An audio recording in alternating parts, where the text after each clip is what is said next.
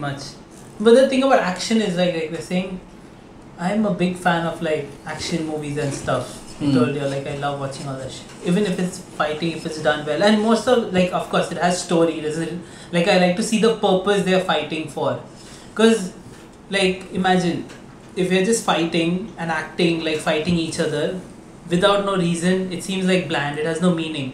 But if I'm fighting you to like save someone I love, or you know to get somewhere, or you know to fulfill some purpose, or like taking revenge also, like it adds more to every punch. Because every punch I'm giving you will have a reason, right? Be like, yes, finally you kill my Mm. this thing, I'll fuck you up. So I'm punching you for a But then reason. most most of these even if it's even if you're crazy and it's for fun, like haha, a fight killing is fun, like something like Lance, right from Baccano.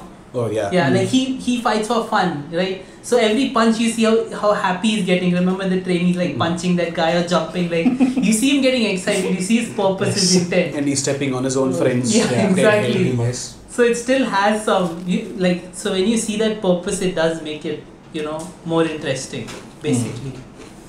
Which But is what Record Ragnarok was totally missing. And these guys are basically like puppets fighting for the. Yeah, that's what makes no sense because these guys are supposed to be like proud warriors who are like really strong and all that.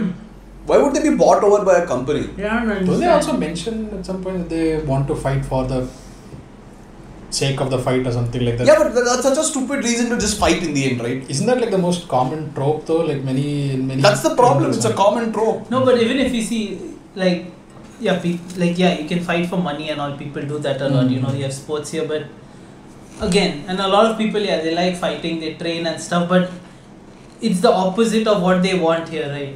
Hmm, hmm. It's not like they're like, okay, I'm going to be controlled by you. I'm fighting for you. Like basically, it's being this is being decided by the company, the Mm. outcome, what they do. I think yeah. It's basically like a business uh, battle in the end. Yeah. Yeah. That that trope is. And there's match fixing and stuff here as well. So it's not Yeah, even like this, like, you Yeah. know, a genuine fight. Mhm. I remember Undisputed again, the movie series where they fight in prison. At least over there, like the prisoners have purpose. Even though they Hmm, can wanna fight, out, yeah.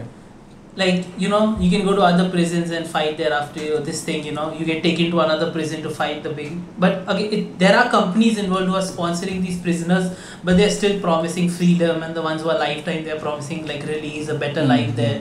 So you're still fighting for some purpose. And the prisoners, are, they go through a lot. You see them suffering. You see them making decisions. They threaten people outside the prisoners' lives. So you know, there's still some intent and story for what they're doing. Hmm. like over there like they won't fight randomly. And also you see the other prisoners enjoying it. It's like an in prison game. It happens a lot right? So yeah that does make it interesting. And even like if you see something like uh, like enter the dragon bruce lee's like even that's like a tournament style fight. Even that's like okay he's going to find out like this evil guy like this company like what is he doing? He goes there on a mission and him participating in the tournament is like is part of his like undercover this thing you know to find out what's Mhm. happening and it's a it's like this tournament where fighters come all it's like a sport like ufc and stuff Hmm.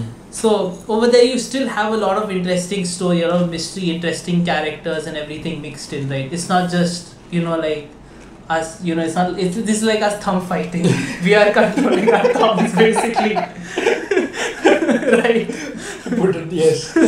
It's basically us thumb Sure. fighting